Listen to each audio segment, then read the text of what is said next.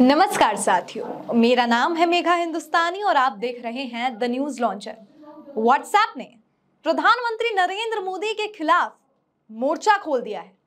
क्या आप सोच सकते हैं?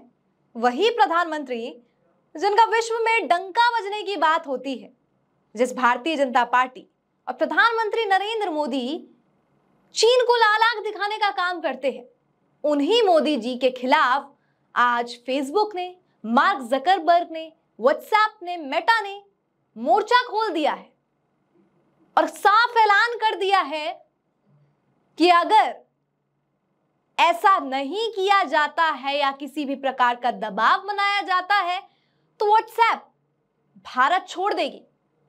अब यहाँ पर समझने वाली ये बात है कि भारतीय जनता पार्टी के लिए व्हाट्सएप कितना महत्व रखती है। और अगर सचमुच व्हाट्सएप ने जो कहा है, उस बात पर वो टिकी रहती है। तो किस प्रकार से भारतीय जनता पार्टी के लिए ये नुकसानदायक साबित होने वाला है? आपको सिलसिलेवार तरीके से पूरी बात बताएँगे, पूरी सुनवाई बताएँगे कि आखिरकार ये क्या मामला है, किस प्रकार से, आखिर क्यों, और कैसे मोदी सरकार को चुनौती दे दी है व्हाट्सएप ने। आपने अमित शाह का एक भाषण ज़रूर सुना होगा, जिसमें उन्होंने इस बात का दावा किया था कि व्हाट्सएप के उनके पास 34 मिलियन ग्रुप्स है। यानी उन ग्रुप्स के माध्यम से व्हाट्सएप ग्रुप्स के माध्यम से किस प्रकार से भारतीय जनता पार्टी अपने पोस्ट मैसेजेस पार्टी का प्रचार, भेजने का काम करती थी। यानी कितना ज़्यादा तवज्जो, महत्व व्हाट्सएप भारतीय जनता पार्टी के लिए रखता है। उसी व्हाट्सएप उसी सोशल मीडिया की ताकत पर 2013 के अंत होते होते 2014 के होते होते शुरुआती दौर में आपने देखा होगा डिजिटल मीडिया प्लेटफॉर्म्स पर एक लहर सी बन गई थी, एक पूरा का पूरा वातावरण बनाया गया उस सोशल मीडिया के दम पर। लेकिन लोकप्रिय तो हुए मोदी जी, बखूबी हुए। लेकिन उसके बाद वही 2014 वाली लोकप्रियता लोगों के बीच में कब आक्रोश में तब्दील हो गई, पहले आपको वो बता देते हैं।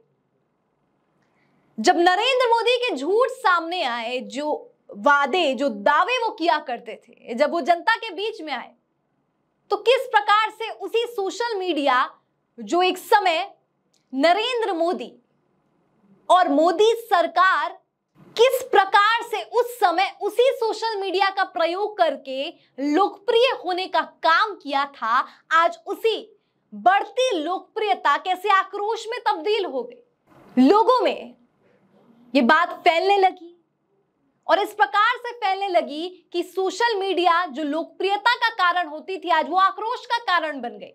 और यही कारण है दोस्तों कि सोशल मीडिया और खास तौर पर व्हाट्सएप अमित शाह के भाषण से मैंने शुरुआत की वीडियो की कि उन्होंने दावा किया कि इतने व्हाट्सएप ग्रुप्स के माध्यम से भारतीय जनता पार्टी प्रचार कर रही है। तो जरा सोचिए कि कितना महत्व social media Bharatiya Janata party के लिए रखता था। लेकिन जब वो लोकप्रियता घटती गई और आक्रोश बढ़ता गया तो आलम यह हुआ कि लोगों के बीच में जागरूकता तो फैली। और अब नरेंद्र मोदी की सरकार को यह डर सताने लग गया कि कहीं आम जनता को सब कुछ काला चिट्ठा मालूम ना हो जाए क्या जनता उतनी भी ज़्यादा जागरूक ना हो जाए कि जो दावे, जो वादे मोदी सरकार के द्वारा फैलाए जाते हैं, भ्रमित करने का काम किया जाता है, वो जनता के बीच ना आ जाए। और यही कारण है कि 2021 आईटी अधिनियम को लाया जाता है।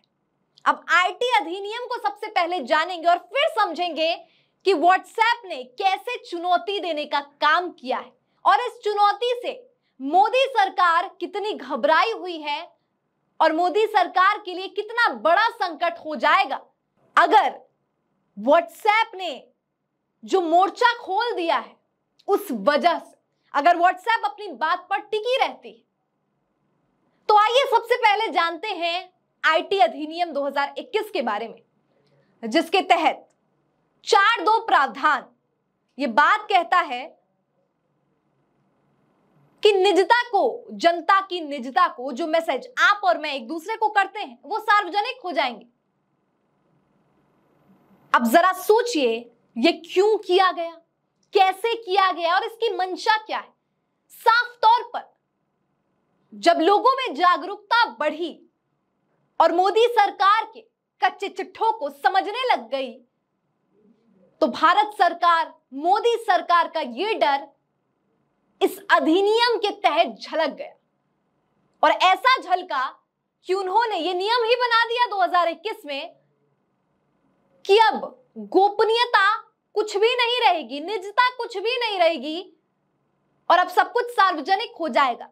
अगर कोई मैसेज सर्कुलेट किया जाता है अब कथित तौर पर तो ये बताया जा रहा है कि मैसेज सर्कुलेट अगर किया जाता है तो जो उसका ओरिजिनेटर है, यानी जहाँ से वो संदेश वायरल हुआ है, उसके खिलाफ लीगल एक्शन लिया जाएगा।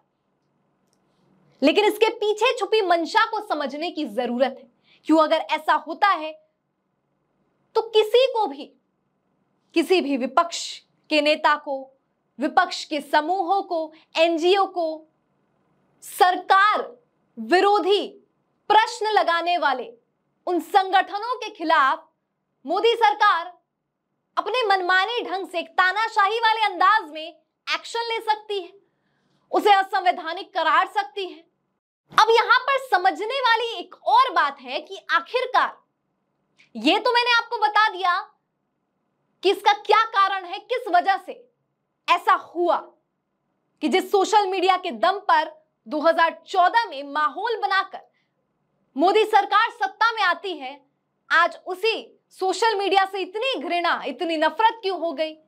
इतना दबाव क्यों डाला जा रहा है? ताकि लोगों में ये संदेश, ये जागरूकता ना पहुँच जाए कि सरकार क्या गलत कर रही है। इसीलिए इस प्रकार का अधिनियम और प्रावधान लाया गया, जिसके तहत मीडिया की आवाज़ को बंद करने का काम किया गया। गोपनीयता सार्वजनिक ना हो, ये इकलौता प्रावधान नहीं है इस अधिनियम के तहत। इस digital IT digital media ethics अधिनियम के तहत तमाम बातें कही गई है कि किस तरीके से YouTube social media X Twitter Instagram Facebook regulate किया जाएगा। कंटेंट कौन से होंगे? आप क्या देखेंगे? इसका निर्णय अब आप नहीं लेंगे, बल्कि मोदी सरकार लेगी। और इस अधिनियम के तहत बहुत से प्रावधान, बहुत से बंदिशें कर दिए गए, जिसका नतीजा अब आप देखते हैं। देखते हैं आप किस प्रकार से YouTube द्वारा स्ट्राइक लगा दी जाती है वीडियो डाउन किए जाते हैं नोटिस भेजे जाते हैं। अगर सरकार से प्रश्न चिन्ह, प्रश्न पूछ लिया जाता है तो सोशल मीडिया कितने दबाव में है? खास तौर पर यूट्यूब कितना दबाव में है?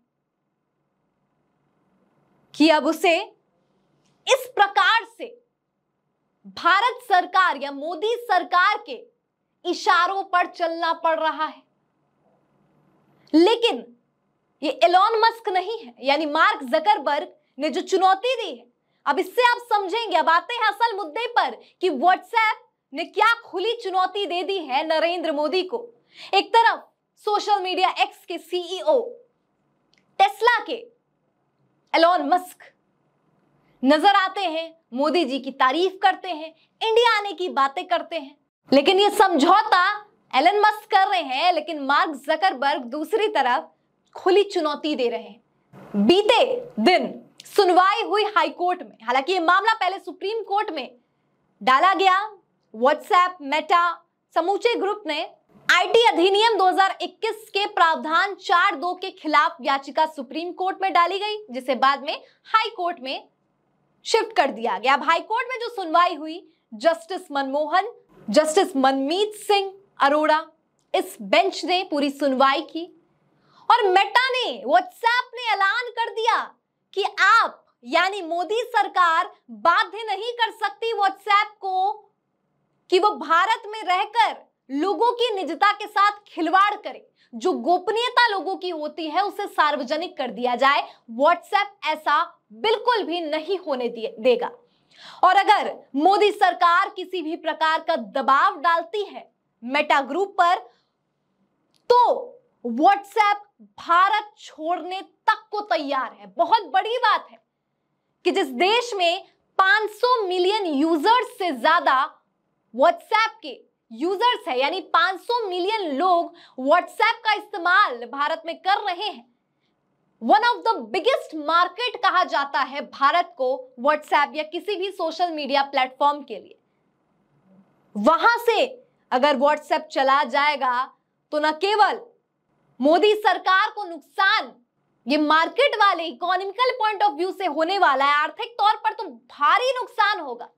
लेकिन जिस प्रकार से राजीव कुमार की आयोग, जो मॉडल कोड ऑफ़ कंडक्ट, आचार संहिता का उल्लंघन कर, व्हाट्सएप के ज़रिए विकसित भारत का मैसेज आप तक प्राप्त हुआ होगा, अब वो विकसित भारत का मैसेज कैसे पहुंचाएगी भाजपा? क्योंकि अपने कार्य गिनवाने के लिए मोदी जी भाषणों का रुख नहीं करते, भाषणों का प्रयोग नहीं करते। ना ना, बिल्कुल नहीं। वो तो अपनी बात पहुँचाने के लिए व्हाट्सएप का प्रयोग करते हैं। विकसित भारत के ऑफिशियल नंबर से लोगों को मैसेज करते हैं। और अगर व्हाट्सएप चला गया तो आर्थिक तौर पर नुकसान तो अलग, लेकिन जो भारतीय जनता पार्टी का एजेंडा है, जो उनके आईटी सेल के लोग लगातार दिन रात ट्वीट पे ट्वीट व्हाट्सएप यूनिवर्सिटी पूरी यूनिवर्सिटी बना रखी है, उस व्हाट्सएप यूनिवर्सिटी का क्या होगा? क्या होगा उन लोगों का? जिनको आप पच्चीस रुपए देकर ट्वीट कराते हैं, भ्रमित करने के लिए, लोगों को असल मुद्दों से डाइवर्ट करने के लिए नफरत जहर घोलने का काम जो व्हाट्सएप यूनिवर्सिटी के ज़रिए भारतीय जनता पार्टी करती है, अब वो कैसे करेगी? 500 मिलियन यूज़र्स कितना बड़ा आंकड़ा है। बहुत बड़ा नुकसान, बहुत बड़ा इंपैक्ट होने वाला है। तो क्या जिस प्रकार से व्हाट्सएप ने खुले तौर पर यह बात कह दी है कि हम भारत छोड़ देंगे अगर दबाव डाला गया। किसी भी देश ने आज तक हम पर दबाव नहीं डाला कि निजता, गोपनीयता को सार्वजनिक कर दे। भारत ही पहला देश है जो इस प्रकार से कह रहा है। तो मोदी सरकार क्या बढ़ती टेंशन? आप समझ रहे हैं कितना कितना ज़्यादा मोदी सरकार के लिए ये टेंशन वाला हो गया है कि आर्थिक नुकसान भी होगा, खुद का जो उनके पार्टी का एजेंडा, वो भी नुकसान होगा। क्या इतने बड़े नुकसान के साथ मोदी सरकार व्हाट्सएप को ऐसे ही छोड़ देगी? क्या मोदी सरकार के लिए निजता, गोपनीयता को सार्वजनिक करना, सत्ता में रहना, नफरत फैलाना, ये ज़्यादा महत्वपूर्ण हो जाएगा आर्थिक दृष्टि से और साथ ही साथ अपने पार्टी का एजेंडा? बहुत मुश्किल है, गंभीर प्रश्न है। और चुनाव अब मोदी जी के हाथों में है कि किसको चुने? कितनी बड़ी विडंबना है कि व्हाट्सएप ने ऐलान कर दिया है, अगर भारत में रहेंगे तो निजता को सुरक्षित रखेंगे। और निजता सुरक्षित रहेगी तो प्रधानमंत्री नरेंद्र मोदी और मोदी सरकार हवा हवाई सब कुछ खत्म, पूरा का पूरा खेल एक्सपोज होते जाएगा जिस प्रकार से डिजिटल मीडिया के माध्यम से लगातार मोदी सरकार को बेनकाब किया जा रहा है। और ये बेनकाब करने का अगर दौर जारी रहा तो सत्ता से जो बाहर होंगे, सो अलग। छवि जो गिरती आई है, और गिरती आई है अंतर्राष्ट्रीय स्तर पर, अंतर्राष्ट्रीय अखबार छापते हैं। राष्ट्र में भी थू थू हो जाएगी। पूरा का पूरा छवि धूमिल हो जाएगा मोदी जी का अगर व्हाट्सएप रहता है और व्हाट्सएप जाता है तो पार्टी का एजेंडा का क्या? चौतीस मिलियन यूज़र्स, मिलियन ग्रुप्स का क्या? अरे विकसित भारत का क्या? आईटी सेल कैसे काम करेगा? बहुत बड़ा, गंभीर विडंबना में, बुरी तरीके से, चक्रव्यूह में खुद फंस चले हैं। क्या लगता है दर्शकों, इस चक्रव्यूह को भेद पाएँगे? प्रधानमंत्री नरेंद्र मोदी कमेंट सेक्शन के ज़रिए अपनी राय, सुझाव और प्रश्न मुझ तक पहुंचाइए। फ़िलहाल मुझे दीजिए इजाज़त, मिलती हूँ आपसे ऐसे ही वीडियोस के साथ। धन्यवाद।